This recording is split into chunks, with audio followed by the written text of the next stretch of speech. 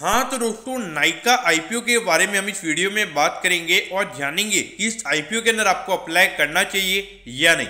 चलिए शुरू करते हैं। तो देखिए, यहाँ पर अगर हम सबसे पहले कंपनी की अगर हम बात करें तो 2012 में ये कंपनी इनकॉर्पोरेट हुई थी। तो यानी कि around eight to nine years इस कंपनी को चालू हुए हो चुके हैं। तो देखिए, ये कंज्यूमर टेक्नोलॉजी प्लेटफॉर्म है। यानी कि इनका टेक्नोलॉजी पे भी ये काम करते हैं। यानी कि आप ऑनलाइन भी इनके प्रोडक्ट खरीद सकते हैं और ऑफलाइन पे भी इनके प्रोडक्ट्स अवेलेबल हैं। तो ये कंपनी क्या बेचती है? तो अगर आप देखोगे तो beauty personal care fashion products और उसके अंदर उनके खुद के ब्रांड प्रोडक्ट भी इन्वॉल्व है। देखिए, ये जो मेन कंपनी है नाइका यहाँ पे क्या होता है कि जनरली ये जो मेन ये कंपनी क्या करती है? यानी कि जो दूसरे कहीं से प्रोडक्ट जैसे कि कोई नॉर्मल प्रोडक्ट मैन्युफैक्चर होता है तो वहाँ से थर्ड पार्टी से ये प्रोडक्ट लेके अपनी ब्रांड नेम पे ये प्रोडक्ट बेचते हैं। तो वहाँ पर अगर देखा जाए तो इनका जो कॉस्ट वगैरह है, जो मैन्युफैक्चरिंग कॉस्ट वगैरह, वो काफ़ी बचता है। क्योंकि तो डायरेक्ट अगर प्रोडक्ट लेकर वो अगर अपने ब्रांड नेम पे बेचेंगे तो वहाँ पर एक रीसेलिंग का डायरेक्ट बेनिफिट इन्हें मिल जाता है।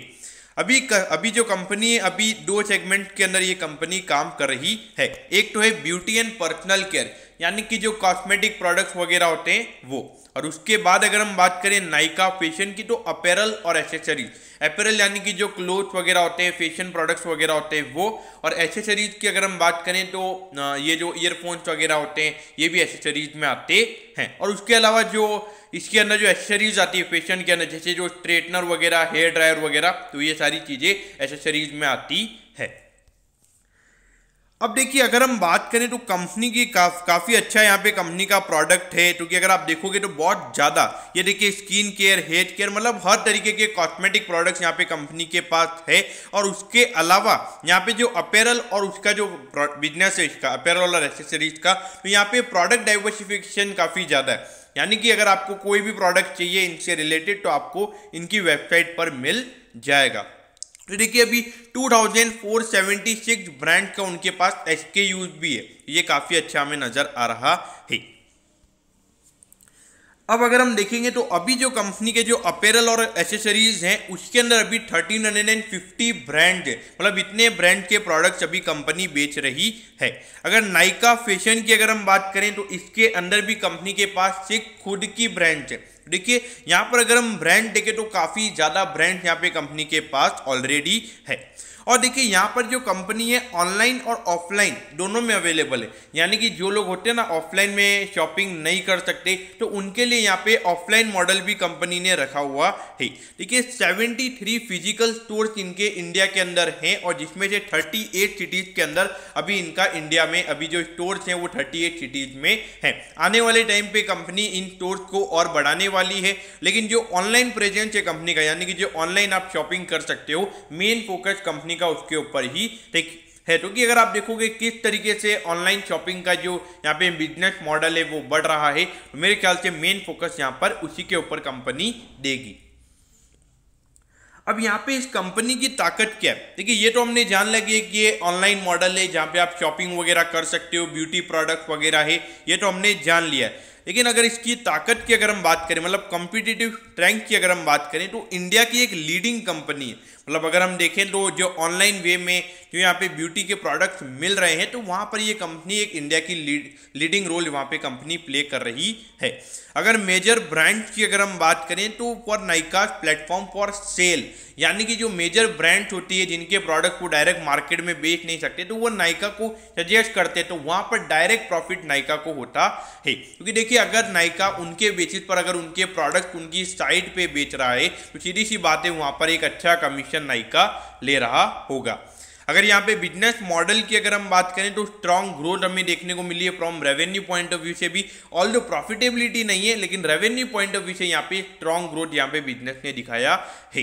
अगर टेक्नोलॉजी की अगर हम बात करें तो देखिए, आप सभी को पता होगा कि कैसे ऑनलाइन शॉपिंग यहाँ पे प्रमोट हो रही है, किस तरीके से लोग अपने घर बैठे बैठे प्रोडक्ट्स मंगाना चाह रहे हैं। स्टोर में जाके कोई भी मंगाना पसंद नहीं करता है। अगर मैनेजमेंट टीम की बात करें तो मैनेजमेंट टीम यहाँ पे काफ़ी अच्छी है। अब यहाँ पर ये कंपनी आईपीओ लेकर क्यों आ रही है। मतलब जो आईपीओ का पैसा है, वो यहाँ पर क्या होने वाला है? तो देखिए, जो न्यू रिटेल स्टोर्स है कंपनी को, जो बिल्डअप करने हैं कंपनी को, जो नाइका फ़ैशन के जो न्यू स्टोर्स हैं, यानी कि जो कपड़े होते हैं, उनके प्रोडक्ट के लिए तो वहाँ पर उसके लिए कंपनी को पैसा चाहिए तो उसके लिए यहाँ पे पैसा कंपनी मंगा रही है। अगर उसके अलावा और भी सब्सिडरीज की बात करें तो ई रिटेल नाइका फ़ैशन और इसके जो और भी ब्रांड्स वगैरह है, और जो वेयर हाउजेस का जो कॉस्ट वगैरह है तो उसके लिए यहाँ पर ये आईपीओ आ रहा है। अगर यहाँ पे बात करें तो और कंपनी थोड़ी बहुत अपनी जो बोरिंग है जो लोन्स वगैरह है, उनको भी रीपेमेंट करना चाहती है, उसके लिए भी यहाँ पर ये आईपीओ आ रहा है। तो यानी कि ये जो इतने रीजन है, इसके लिए ये आईपीओ आ रहा है और जितना पैसा यहाँ पे रेज होगा जो फ्रेश इशू के तौर पर उतना पैसा यहाँ पे यूज़ किया जाने वाला है। अब कंपनी के फिनेंशियल्स पे नज़र डालिए।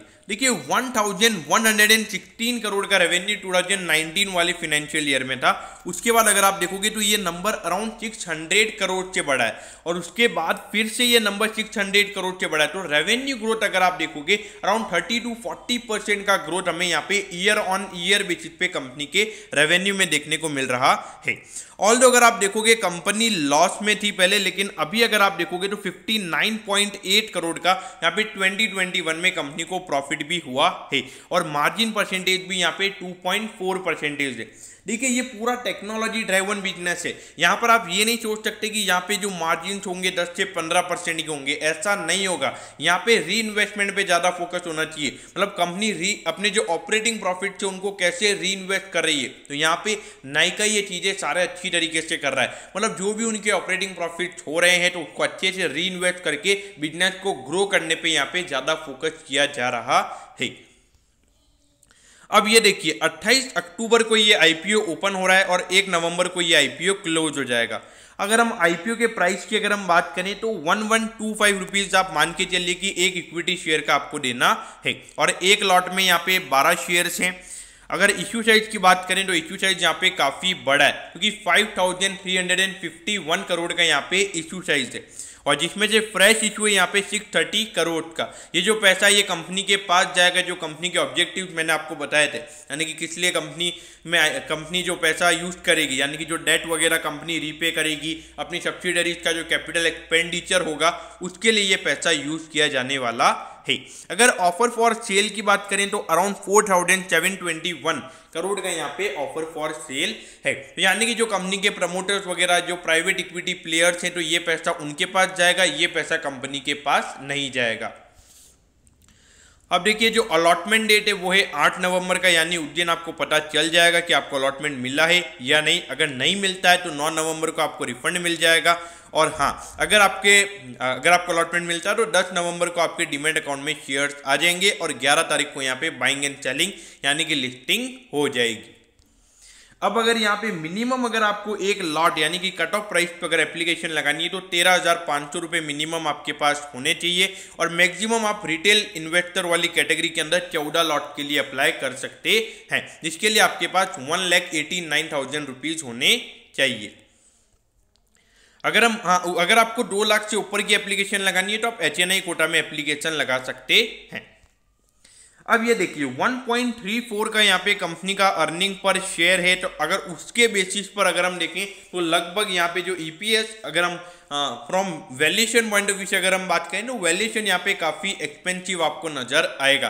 क्योंकि 1.34 यानी कि अगर डेढ़ रुपये का भी अगर हम ईपीएस e अगर मान के चले तो वो पंद्रह सौ रुपये के हिसाब से लगभग हज़ार का यहाँ पे कंपनी का प्राइस टू अर्निंग रेशियो होता है। तो वैल्यूशन पॉइंट ऑफ़ व्यू से यहाँ पे चीज़ें नहीं देखनी चाहिए, क्योंकि अभी अभी कंपनी रिसेंटली प्रॉफिट में आई है। यहाँ पे जो प्रॉफिटेबिलिटी ग्रोथ है, आने वाले टाइम पे एक्सपोनेंशियल वे में हमें देखने को मिल सकता है। तो ये बात आपको समझनी होगी। रिटर्न ऑन नेटवर्क ये जिस बिज़नेस में है, उसमें 12 परसेंट का रिटर्न ऑन नेटवर्क काफ़ी अच्छा है। और नेट एस्टेट वैल्यू भी यहाँ पे ग्यारह रुपए का है। तो ग्यारह रुपए के हिसाब से अराउंड अगर हम देखें तो हंड्रेड टाइम्स पे यहाँ पे price to book ratio company का आता है। क्योंकि अभी तो देखिए आप कंपनी के लोन्स वगैरह भी है, अभी कंपनी जो आईपीओ से पैसा आएगा, उससे लोन क्लियर करेगी तो वहाँ पे बुक वैल्यू में हमें ग्रोथ देखने को मिलेगा। मेरे ख्याल से all over company good long term point of view से कंपनी काफ़ी अच्छी नज़र आती है। जो भी यहाँ पे लॉन्ग टर्म इन्वेस्टर्स हैं, उनके लिए मेरे ख्याल से कोई इशूज नहीं होंगे इन्वेस्ट करने के लिए। हाँ अगर मैं short term point of view से अगर हम बात करें तो लिस्टिंग गेन यहाँ पे कम होगा। मेरे, मुझे ऐसा लगता है क्योंकि आईपीओ का इश्यू साइज़ काफ़ी बढ़िया है। लेकिन मुझे लगता है, जो सोना कोस्टार में हुआ था, यानी कि जिस तरीके से वो आईपीओ के लिस्टिंग के बाद जो रैली हुआ है वहाँ पे मुझे ऐसा लगता है कि नाइका में भी ऐसा हो सकता है। क्योंकि मेन बात क्या है, दस परसेंट का रिटेल कोटा है यहाँ पे। तो सेवेंटी फाइव परसेंट का क्यू आई बी कोटा है। तो सेवेंटी फाइव परसेंट का मार्केट में फ्री फ्लोटिंग नहीं होगा। मुझे लगता है कि यहाँ पे डेफिनेटली एक अच्छा आपका रिटर्न बन सकता है। तो मेरे ख्याल से ज़रूर यहाँ पे आपने अप्लाई करना चाहिए। तो दोस्तों, मैं होप करता हूँ कि आपको नाइका के, आईपीओ के बारे में सब कुछ पता चल गया होगा। अगर आपकी कोई भी क्वेरीज है तो आप कमेंट कीजिए। मैं ज़रूर आपके कमेंट पर रिप्लाई करूँगा। ओके दोस्तों thank you have a nice day